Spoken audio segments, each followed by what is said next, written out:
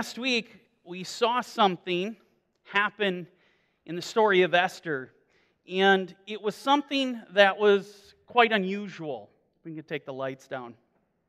It was something quite unusual, something quite peculiar. Taking you back to, to the story, we know Mordecai, he drafts a document, right? Bears the king's name, bears the king's seal. This document is sent out throughout the entire kingdom, right? The document sent on the entire kingdom. No one is to be excluded. This document is actually translated into every language under heaven to ensure that the people would read and understand, to ensure that the people, what they heard in regard to the king's message, they knew exactly what was being said. And what did we discover last week in regard to this document? What we discovered is the premise of the document, the thrust of it, the whole point of it was to declare salvation to the Jewish people. That's the point. To declare destruction to their enemies.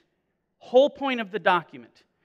Well, now, while that might not seem peculiar or unusual, the impact, the response of the inhabitants to that document is absolutely peculiar.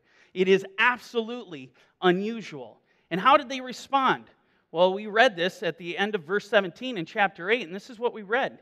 Then many of the people of the land became Jews.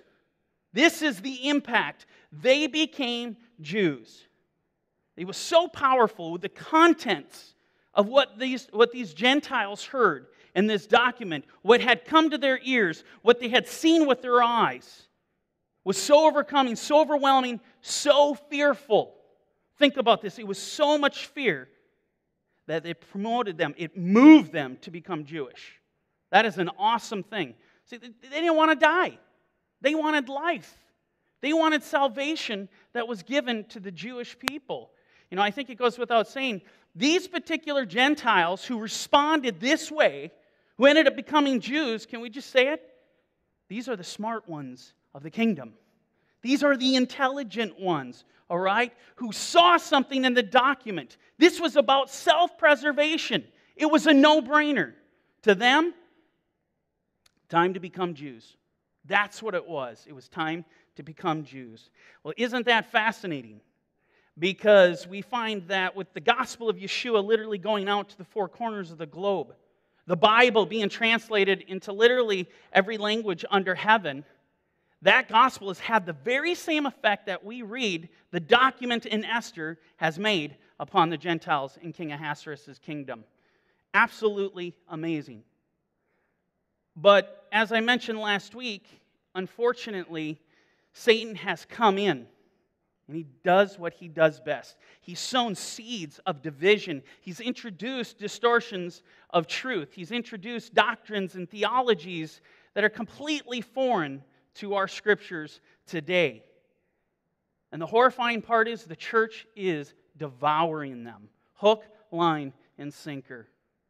So, in light of this, in light of the importance of this topic, I want to spend a little more time today uh, picking up where we left off, talking about the reality of what it should look like when Gentiles come into faith in the Messiah Yeshua. What should that final product look like?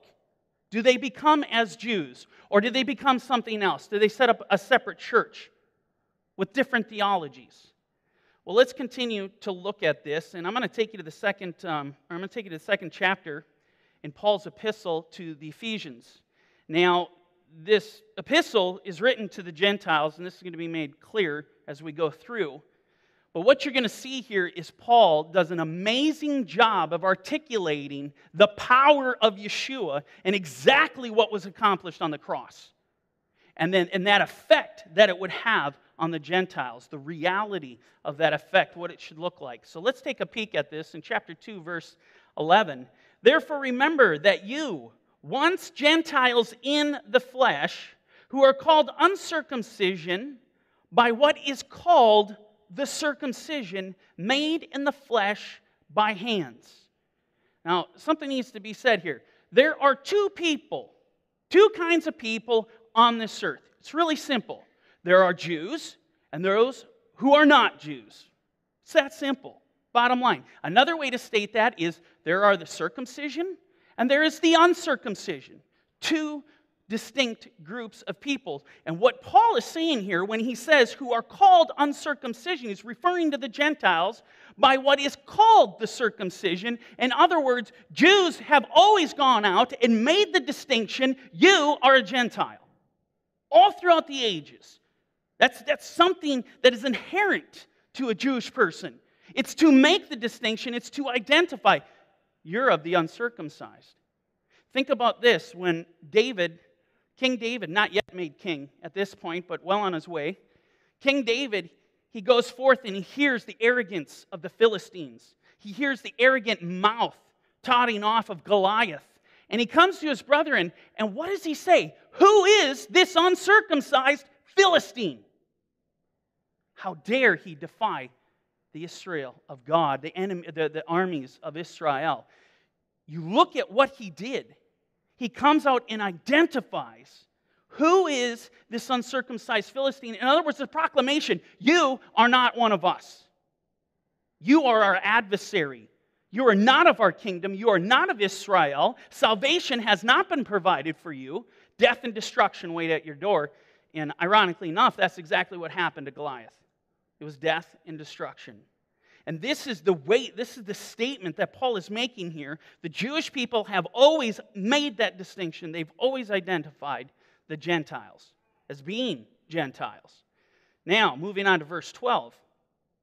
That at that time you were without Mashiach, being aliens from the commonwealth, politia in the Greek. This commonwealth that Paul's referring to is citizenship. And what he's saying is, is you had no rights in Israel. You had no privileges, you had no citizenship. You know, the, the, the point of being a citizen in, in a country like America is to have the protection of the government, to have the benefits, the blessings that the government uh, gives you if you are a citizen. And if you're not a citizen, you don't get the same rights, you don't get the same protections. This is what Paul's getting at. You are aliens from the commonwealth of Israel and he goes on, in strangers from the covenant of promise, having no hope and without God in the world. Let me tell you something. Commit this passage to memory. Because when someone asks you, what does it mean to be a Gentile? This is it. Paul just defined what it means to be a Gentile. All of these statements, it's without Mashiach. It's, it's, it's not being a citizen of Israel. It's being a foreigner to the covenants of promise. It's having no hope and it's without God. That's what it means to be a Gentile. You know, anything of any value that has been given in this age, anything of any spiritual value, it has been given to Israel. It has been given to the people of God, period. Make no mistake. To them, it's the promises. To them, it's the blessings. To them, it's the forgiveness of sins. To them, it's salvation. Now, if you're a Gentile, I know what you're thinking. Well, Daniel, this isn't a great start to a message. Uh, if I'm a Gentile, this doesn't sound really good for me. It sounds like I'm completely cut off. Well, fortunately, Paul doesn't end here. He has more to say. And this is what he continues to say in verse 13. But now, okay, things were one way, but things have changed. But now there's a change. In Messiah Yeshua, you who once were afar off have been brought near. How? By the blood of Mashiach. By the blood of Mashiach, we've been brought near. For he himself is our peace, who has made both one and has broken down the middle wall of separation. Notice here, the Apostle Paul, he explicitly, he explicitly identifies there was a middle wall. There was a middle wall established, separating the uncircumcised from the circumcised, the Jew from the Gentile. And let me tell you something go through, read the Torah, and you will find this to be true. The Torah distinguishes between the two. The Torah divides the Gentile from the Jew over and over and over again. Just read it. But with the coming of Yeshua, something supernatural happened.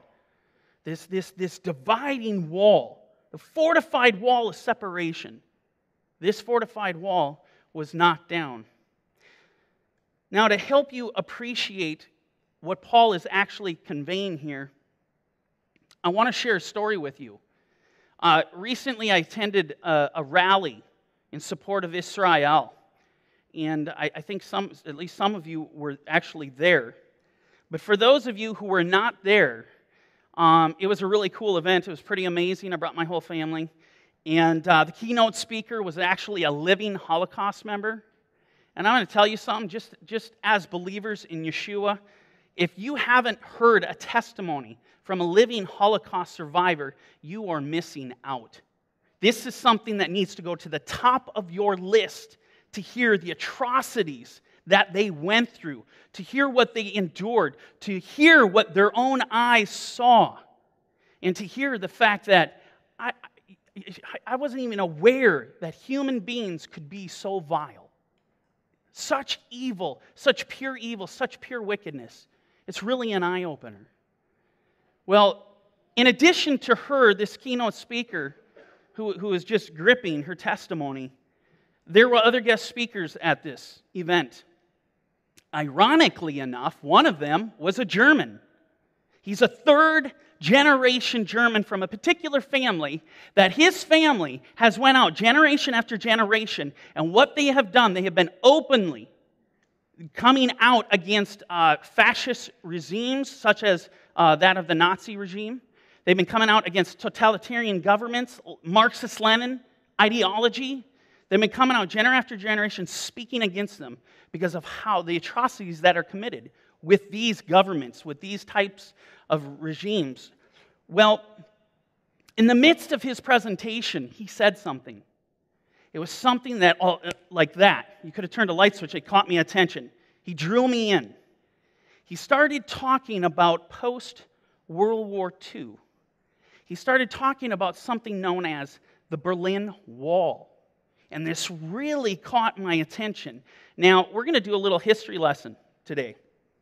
For those of you who are not familiar with history, World War II ended in the mid 1940s, but like all wars, it really never ended.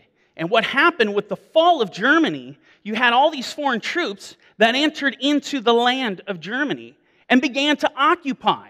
They didn't just up and leave once Hitler fell, once the Nazi regime fell. They didn't just leave land. They actually dug in their heels. And so here you have all these uh, various groups and right here you have the French sector, the British sector, and the American sector, all on the west side of what we would call Berlin. Berlin's quite large. And what's interesting is these, these are all military presences, okay? But look at the east side.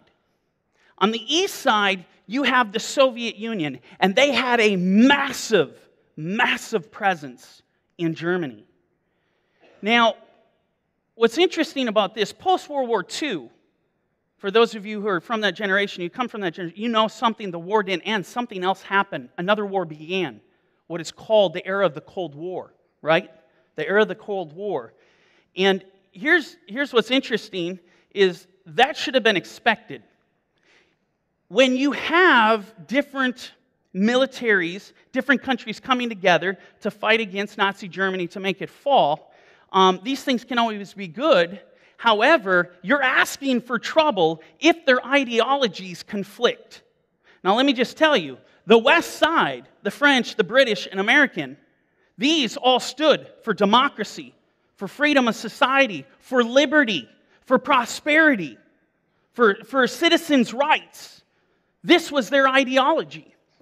On the East Side, you have the Soviet Union, the exact opposite ideology Marxist Lenin ideology. There is no freedom, there is no liberty. You, as a person, can't own anything. Everything you own belongs to the state. Therefore, there's no prosperity. There is only oppression. It was only a matter of time before we had a crisis because these two ideologies are diametrically opposed to one another. There was only a matter of time before crisis erupted, and that's what happened the Berlin crisis, as they call it.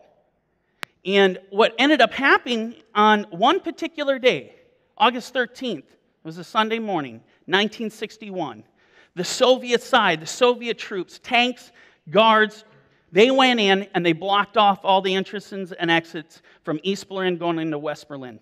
They cut them off one day. understand something. That day was the last day that many of them um, on the east side, the Germans that lived on the east side, that was the last day they saw their family members. They, they, if they worked in West Berlin, immediately lost their job. Something happened. They cut it off. They started establishing themselves. We had the Berlin crisis. And out of this crisis, they began to build what is known as the Berlin Wall. Now, here's what's interesting about this it's a multi layered, really, security system. Barbed wire fence, a place called the death zone with sand that they could see footprints lined with mines. They had something known as these anti vehicle trenches, as, as pictured here, that they had before the wall, preventing anyone from going and, and, and getting to the concrete wall. They had over 300 watchtowers that were erected. They had over 250 guard dog patrols going. Now, when I start mentioning things like guard, guard dog patrols, when I start mentioning, uh, mentioning uh, things like barbed wire fencing, and then a concrete wall that spans longer than your eye can see, longer than the curvature of the earth, which I think is like 26 miles, longer than that. They have this massive thing. What does that sound like to you? Sounds like maximum security prison to me. All the pictures you've ever seen of a maximum security prison actually happen to divide Berlin east from the west and eventually just dividing Germany with two different ideologies. Now, here's what's really fascinating, and this does come into play with where I'm going with this. The Soviet Union was doing what they did best Marxist Lenin ideology. They're experts at propaganda. They were going around telling the people, we need to erect this wall, we need to build this wall, we need to divide it because we got to protect you. We got to protect you from the fascists. The fascists are going to get us. All the while, you look at the construct of, of the actual wall itself, the whole thing was creating a prison to lock the people in. That was its entire design. This massive wall. Anyone that tried to escape was shot on sight. You had all these people on the east side prevented. They could not get to the west side. They couldn't see their family anymore. And on the east side, what happened? Total despair. There was no hope total oppression, pillaging, being pillaged by the Soviet Union, being put to death. People were starving. This is one of the, one of the great things about Marxist Lenin ideology is they like to starve their people. It was total hell on the east side. And the only thing dividing them from freedom, from liberty, from hope, from prosperity, one thing the wall, the Berlin Wall. And I'm telling you guys, this is exactly, this is an analogy to help you understand what Paul is trying to convey here. Think of the Gentiles being stuck on the east side, and there was no way to get to the Jewish side. What was dividing on the Jewish side, what was preventing them from getting to hope, from prosperity, from salvation, was the wall. And this is exactly what Paul is conveying. But what's interesting on November 9th, 1989, something happened. The Berlin Wall was, was actually um, set up to be destroyed. It was commissioned that that wall was to come down. You have the famous words of Ronald Reagan tear that wall down. Mr. Gorbachev, uh, you, you, you look at these things if you watch the videos, you can watch this on YouTube, it will blow your mind. The people, the minute that wall came down, the people took to the streets. They went to the top of the wall and they were singing and rejoicing.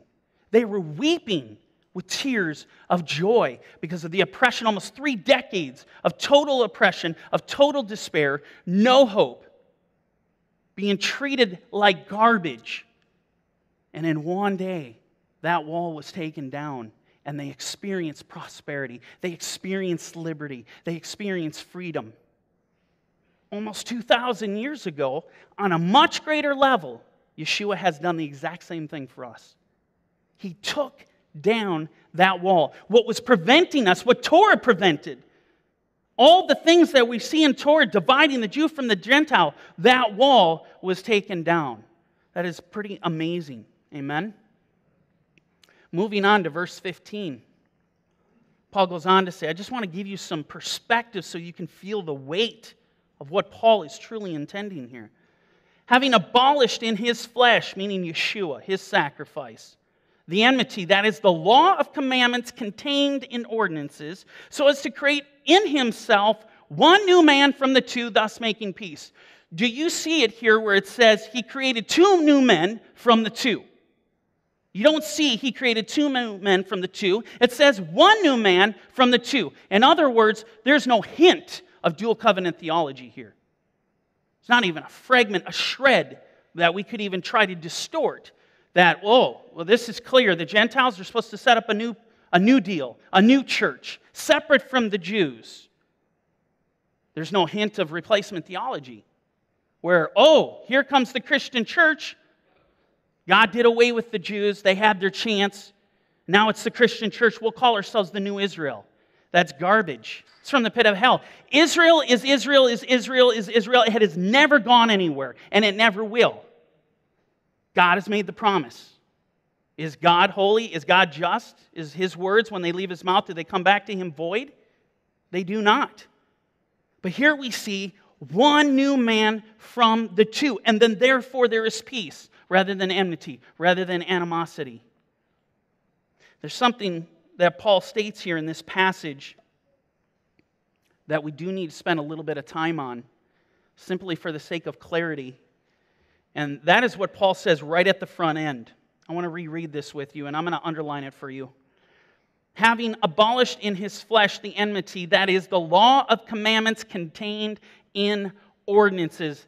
Now, unfortunately, this is, this is one of the verses that has been presented to me on many times to show me, to educate me, to, to I guess bring me to reality that Yeshua has abolished the law.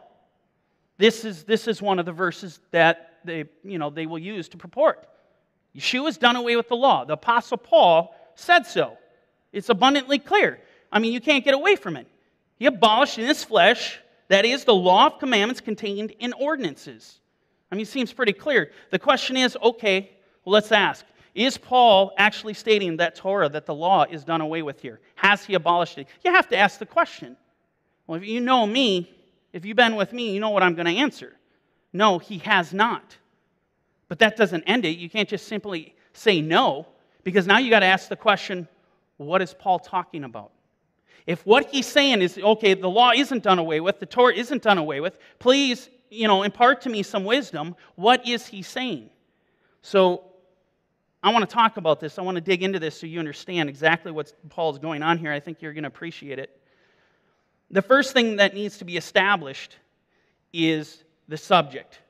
What is the premise of the entire passage as we get into chapter 2? What's the whole focus? What is Paul emphasizing?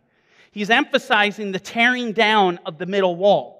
That is his emphasis to tear down the middle wall in Yeshua's great work and the fact that he was responsible for this. In addition to that, did you know that there are ordinances, okay, within Torah that locked out the Gentile? That locked out the, the Gentiles from the blessings, from the promises, that prevented them from being united with the Jew. It's in Torah. And these ordinances were created for a reason. They come from the mind of God, they don't come from the mind of Moses. The children of Israel were to be completely holy. There was to be no leaven or corruption within them. And so divisions were made. Well, I want to take you to the Torah because this is going to come into play, and this is really going to help you on, a, on a, even a deeper level than the Berlin Wall analogy. It's going to help you on a deeper level understand exactly what Paul is getting at. In Deuteronomy 23, verse 19, we read the following You shall not charge interest to your brother. Okay, what he's referring to your fellow Jewish brethren. Interest on money or food or anything that is lent out at interest to a foreigner. This distinction is made. Here's the wall. To a foreigner, you may charge interest, but to your brother, you shall not charge interest, that the Lord your God may bless you in all to which you set your hand in the land which you are entering to possess. Isn't that fascinating? Total division, total wall of separation. If I'm a Jew, I can't charge interest to my fellow Jew. Oh, but if you're a foreigner, I can charge you all the interest I want. Do you see the division, the, the dividing wall? The Gentile did not get the blessing that the fellow Jew got. Let me take you further in uh, going back to Leviticus 22 24. You shall not offer to the Lord what is bruised or crushed, or torn or cut, nor shall you make an offering of them in your land, nor from a foreigner's hand shall you offer any of these as the bread of your God, because their corruption is in them and defects are in them. They shall not be accepted on your behalf. Dividing wall. You can accept sacrifices or animals from your brethren, and this was natural. Even if your tithe was too much, you went to Jerusalem, you got sheep there to sacrifice, or bulls, or whatever you were going to sacrifice, you got them from your brethren. But if a foreigner was there, and selling you animals. You could not buy it. Why? There was a middle wall of separation. A middle wall of separation. This is over and over again. We're seeing this. Deuteronomy 14 21. You shall not eat anything that dies of itself. You may give it to the alien. Okay? This is alien or stranger, sometimes translated as stranger, who is within your gates that he may eat it, or that you may sell it to a foreigner for you are a holy people to the Lord your God. You shall not boil a young goat in its mother's milk. Isn't that amazing? Jewish people can't eat anything that dies of itself. Oh, but I can toss it to the dogs. I mean, this is, this is literally what's being said here. You can throw it to the dogs, but you yourself are holy. There's a middle wall of separation, there's a distinction over and over and over again in Torah, separating the Gentile from the Jew. Let me show you one more. Exodus 12 43. And the Lord said to Moshe and Aharon, This is the ordinance of the Pesach. No foreigner shall eat it. Period. You want to talk about the middle wall of separation? No foreigner can eat it. A Jew can eat it. Those of the circumcision can eat it, but the Gentile cannot. So when Paul makes the statement, but now in Messiah Yeshua, you who were once afar off have been brought near by the blood of Mashiach, for he himself is our peace, who has made both one and has broken down the middle wall of separation, having abolished in his flesh the enmity, that is, the law of commandments contained in ordinances, so as to create in himself one new man from the two, thus making peace Paul is referring to all those ordinances that we just covered that separated the Jew from the Gentile. We now find that through the death of Yeshua, Gentiles are supernaturally, something spiritual, something supernatural took place. They're joined with Israel because the wall has been broken down. The two have finally become one man, set apart to worship for the purpose of being holy, to worship the God of Israel. So, the long and the short of it is, Paul is not stating that Torah is abolished. He's not stating that the law of God is done away with. He's simply telling us the middle wall has been abolished. Those commandments contained in ordinances that kept the Jew and Gentile apart, those have been torn down.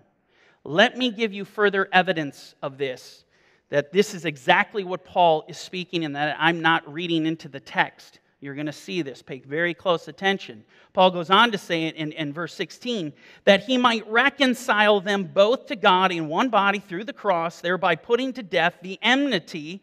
And he came and preached peace to you who were afar off, meaning the Gentiles, and to those who were near, meaning Israel. They've always been near to God. He's dwelt in the midst of their camp. Moving on to verse 18. For through him we both have access by one Spirit to the Father. Now pay attention because all those terminologies that we found in passage after passage within the Torah of the foreigners and strangers and aliens, pay close attention to what Paul says now.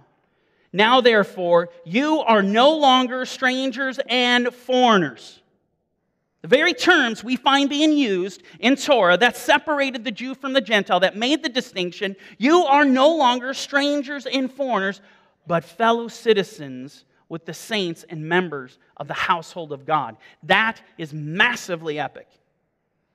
That's the tearing down of the middle wall. That is Gentiles becoming as Jews, just as we see happening in the story of Esther where the Gentiles, they read this document and they're compelled, and the only answer for them, self preservation, become Jews. That's the answer. And you want to see just how awesome, just how spiritual uh, this work that Yeshua accomplished really was. Look at what Paul says next. In verse 20, having been built on the foundation of the apostles and prophets, Yeshua HaMashiach himself being the chief cornerstone, in whom the whole building being joined together grows into a holy temple in the Lord. This is God's dwelling place. What is the temple? It's God's dwelling place. In whom you are also being built together for a dwelling place of God in the Spirit. I mean, this is how awesome and how spiritual the work of Yeshua really is. To the point that we find both Jew and Gentile, they're coming together to create something awesome the dwelling place of the living God. So when we read in Esther 8:17, then many of the people of the land became Jews. Understand, this passage, it's not just history. It's much more than that. This passage was foretelling of a future event, the mystery, where the mystery of God is literally be unfolding in the midst and baffle and confound the minds, even the minds of his own people, as we read in the book of Acts. They were confounded, they were amazed, they were bewildered that the anointing of the Ruach HaKodesh would fall down upon the uncircumcised, the very ones they have kept their entire generation after generation have separated from. You just think about that. It is amazing. But nowhere will you find in Scripture, either through ancient stories like that of Esther uh, or, or that of, of others that we find in the Tanakh, you won't find anything in the New Testament anywhere where the Gentiles have come to establish their own doctrine their own place of habitation, their own churches that are literally being guided by their own books, their own books, rather than how the Jewish people have been guided for thousands of years. You just don't see that anywhere. The only thing we find time and time again in Scripture is Gentiles becoming Jews. You can't find anything else. That's what's there. That's the testimony that has been given for us. And guess what? Esther isn't the only story. Esther is not the only story leaving us a testimony. There are others in the Tanakh, such as the book of Ruth. You think about Ruth, this should be fresh in your mind. We just covered it on Shavuot. Henry did a, a really good message on that. Well, what happened in the book of Ruth? Well, condensed version, you know, Naomi and Elimelech, her husband, they go out from the land of Israel, they go into the land of Moab with their two sons, Machlon and Chilion. And eventually, the, the sons take wives for the women of Moab. Jewish men taking wives from the women of Moab, Gentiles. These are Gentiles. Machlon married Ruth, and Chilion, uh, uh, he married Orpah. Over time, something happened. Her husband, Elimelech, he dies. Later on, years later, her sons die. So there's Naomi left with her two daughters in law. Okay? And what does she tell him to do? Well, let's just look at this briefly. Turn back, my daughters, go, for I am too old to have a husband. If I should say I have hope, if I should have a husband tonight and should also bear sons, would you wait for them till they were grown? Would you restrain yourselves from having husbands? No, my daughters, for it grieves me very much for your sakes that the hand of the Lord has gone out against me. Verse 14. Then they lifted up their voices and wept again, and Orpah kissed her mother in law, but Ruth clung to her. And she said, Look, your sister in law has gone back to her people and to her gods. Return after your sister in law. This is what Orpah did. Orpah left. Orpah abandoned. You know, and there's really imagery here going on of the whole Gentiles, all the Gentiles coming in to the tree of Israel, but some of them turning back. Orpah is representative of that. Orpah returned to her idols, to her gods, and to her people. To do that, she had to do something. She had to leave the Jewish people, and she had to leave the God of Israel. But Ruth was different.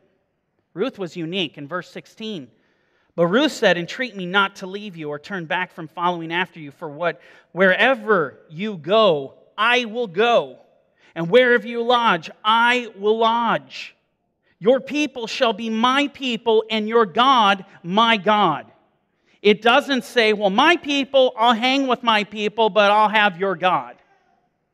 Because this is, this is what's being espoused today.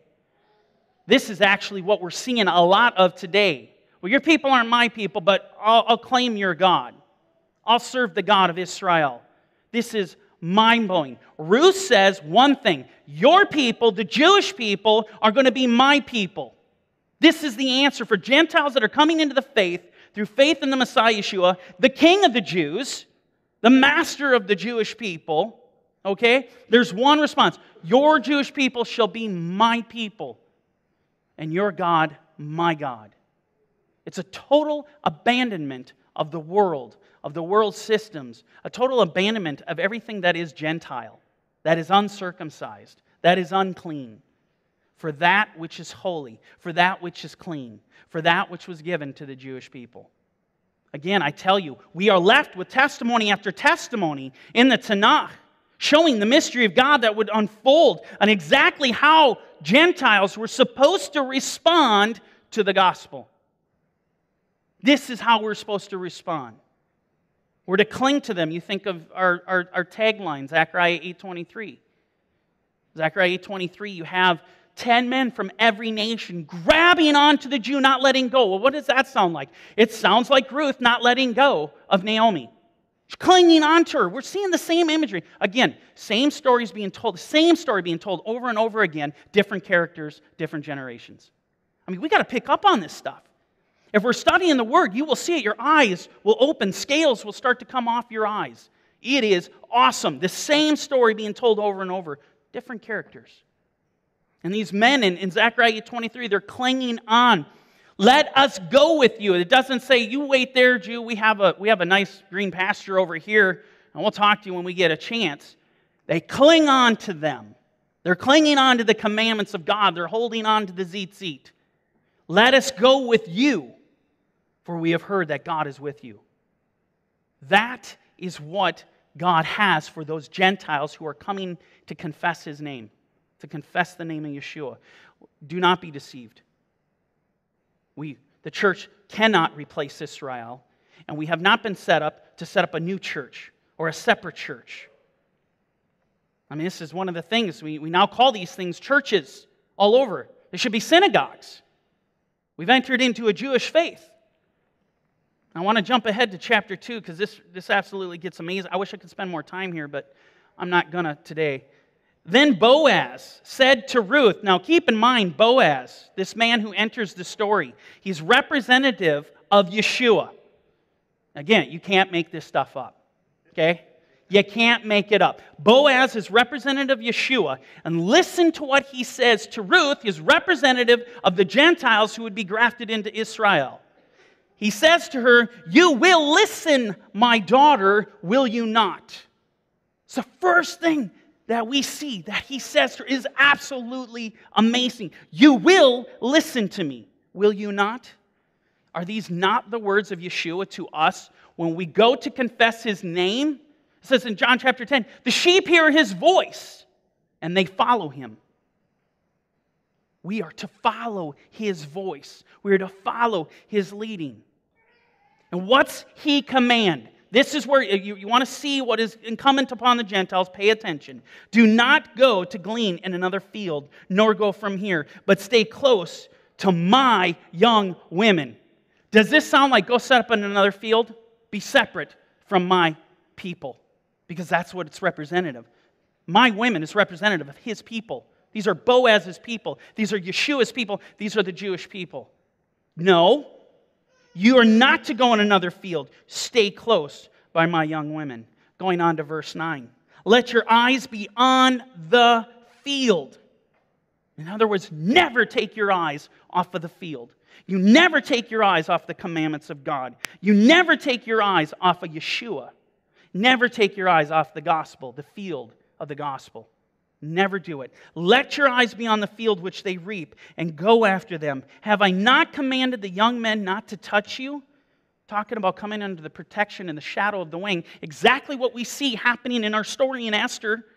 That all these Gentiles throughout the kingdom, what do they want? They want to come under the protection that is afforded to the Jewish people. They want victory, they want salvation. And so he says here, this is, this is what it's afforded, in this representation of Ruth and Gentiles coming in. And when you are thirsty, go to the vessels and drink from what the young men have drawn. Isn't that amazing? They're going to draw what? Mayim Chaim. Going to draw living water to make them live, to be sustained. This is a picture of the anointing of the Ruach HaKodesh, what we actually see being fulfilled in the book of Acts, falling down upon the Gentiles. Cannot make this stuff up. And then we go on in verse 10. So she fell on her face, bowed down to the ground, and said to him, and this is amazing. You will listen to my voice, will you not? This is what Boaz says to Ruth. And he, he goes through this, and what is the response when she hears the voice of God? She falls down on her face. That is the response we should have when we're coming before Yeshua. Fall down on your face before the king. Amen? And so she fell on her face, bowed down to the ground, and said to him, Why have I found favor in your eyes? That you should take notice of me, since I am, oh, there's that term again, a foreigner? Why would you notice me, a foreigner? Someone who's cut off from his people. Now, this is where it gets really good. Listen to why he notices her. This is something you're going to want to take to heart because this is salvational. This is what will get you an eternal inheritance. And this is what he says in verse 11 Boaz answered and said to her, It has been fully reported to me all that you have done for your mother in law Naomi was a Jew.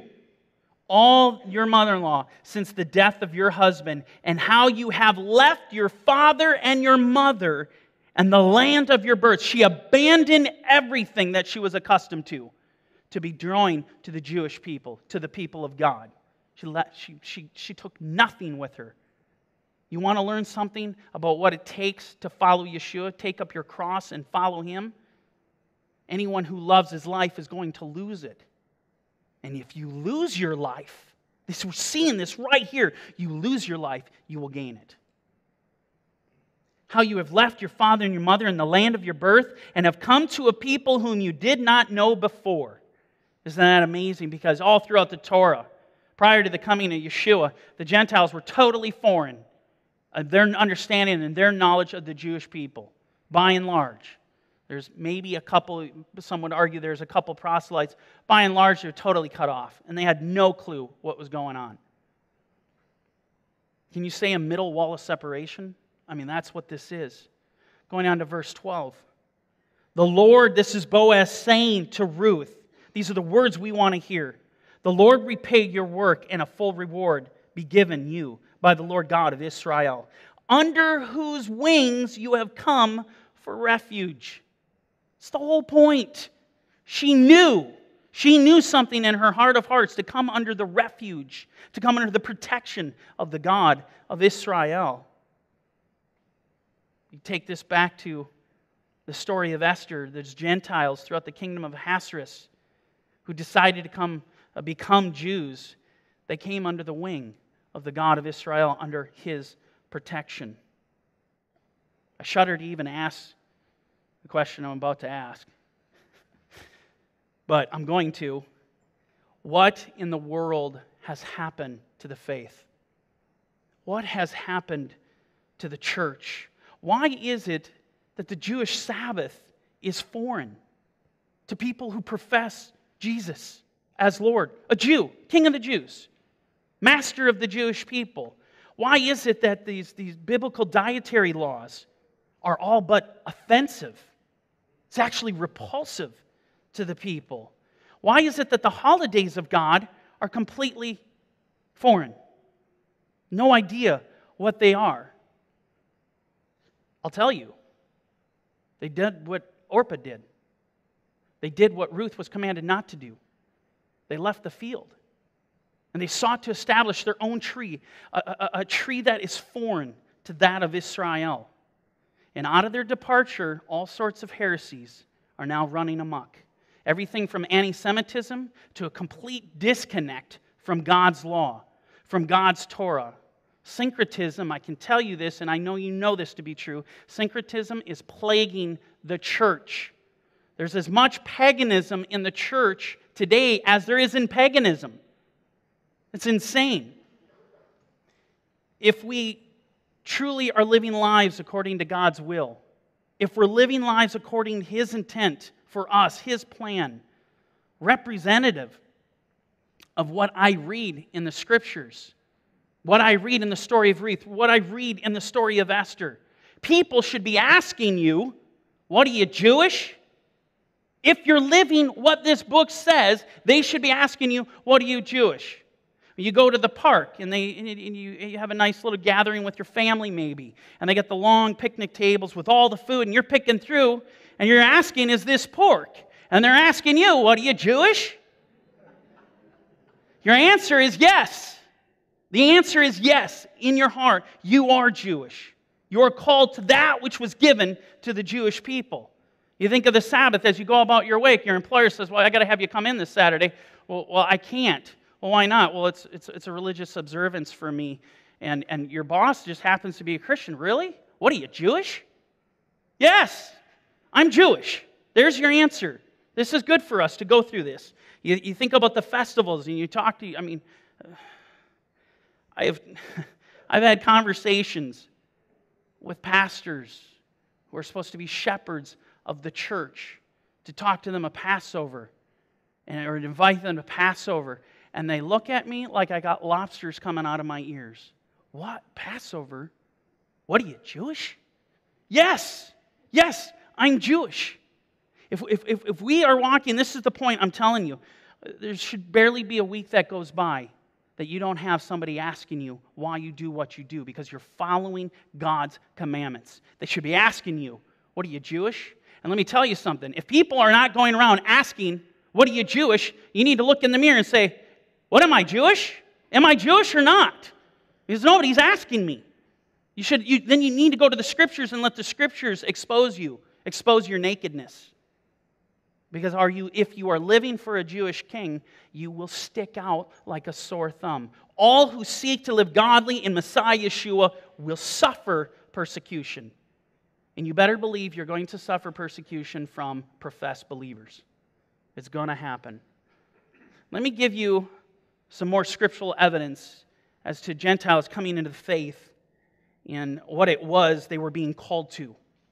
And I want to take you back to Galatians chapter 2, just more evidence to the fact that we're being called to live as Jews. Now, we looked at Galatians 2 previously.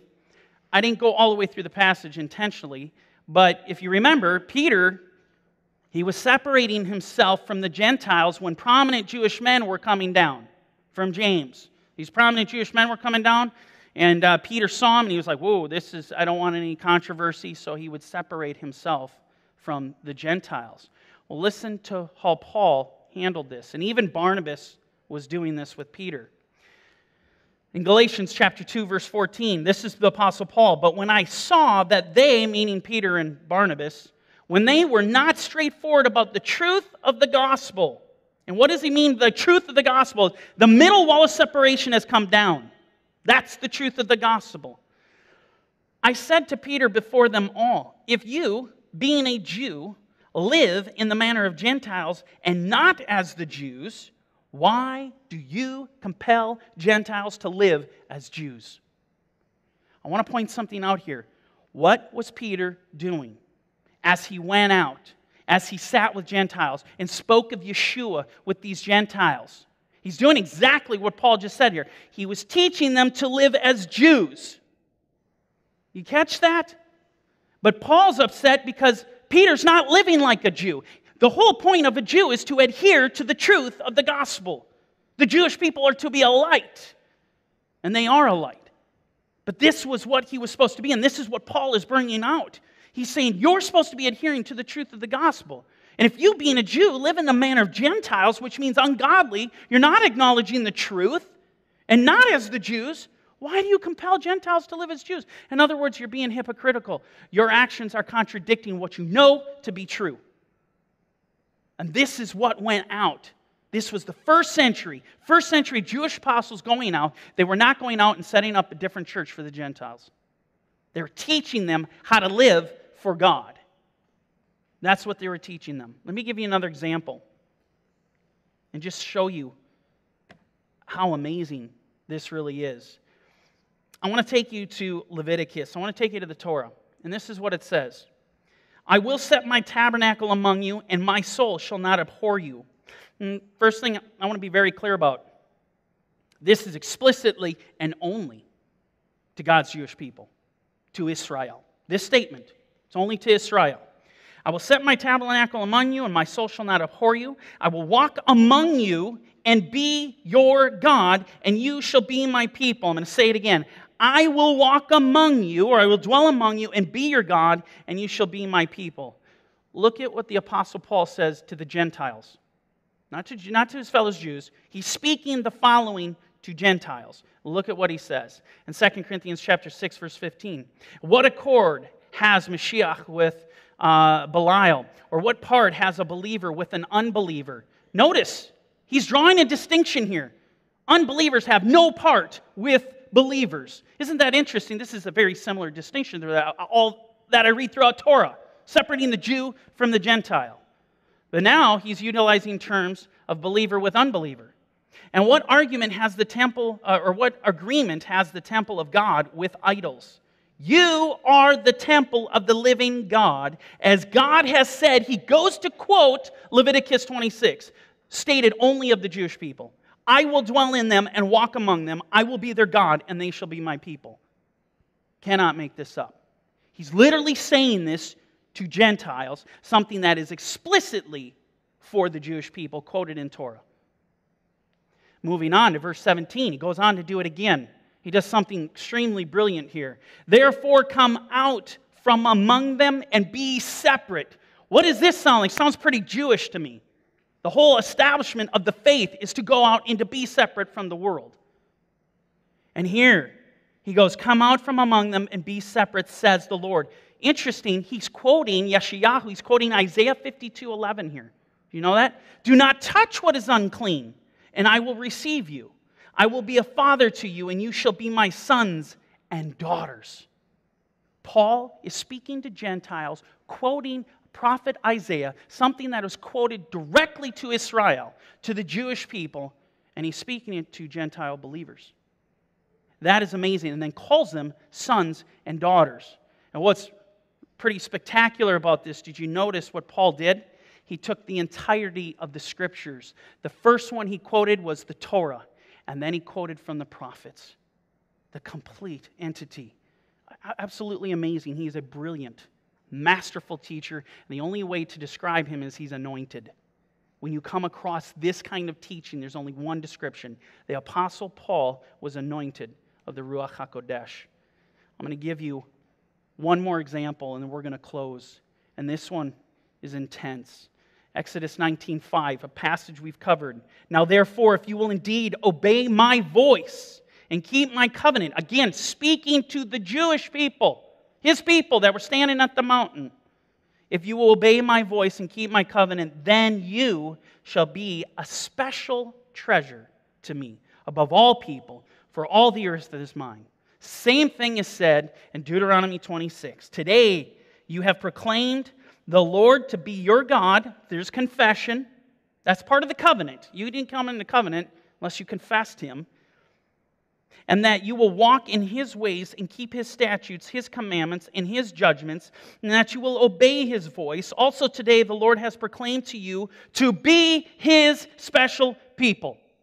These are the words that he spoke to the Jewish people. Proclaim you to be his special people, his special people. Over and over.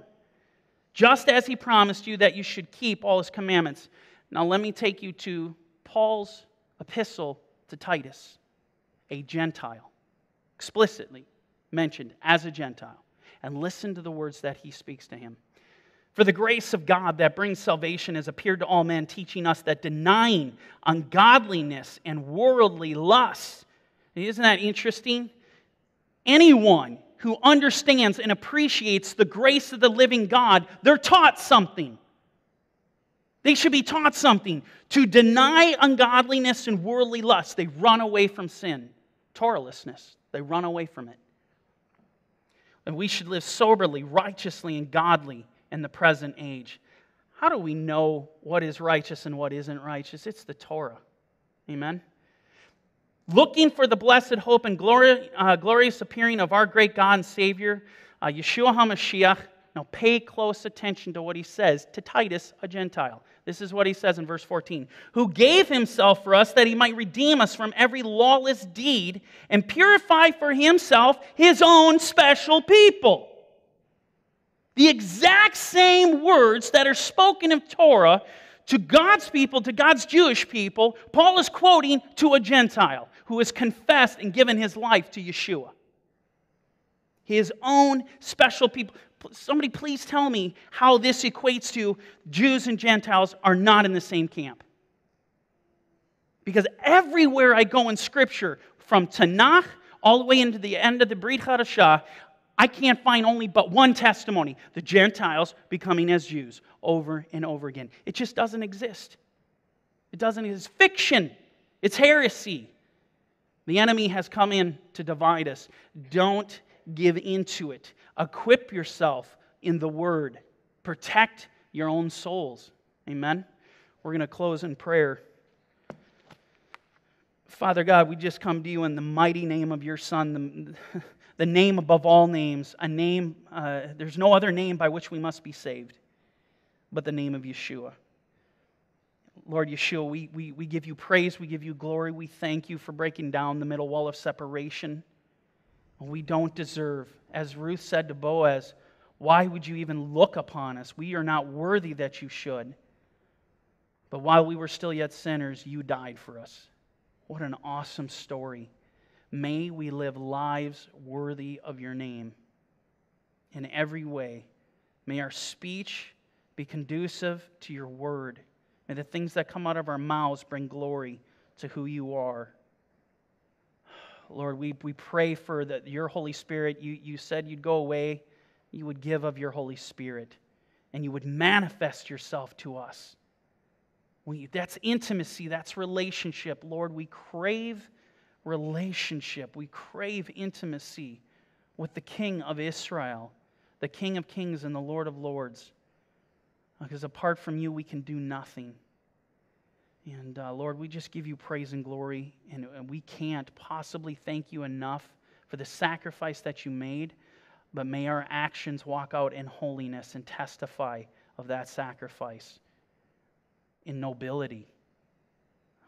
Just give you praise and glory in the mighty name of Yeshua, we pray. Amen.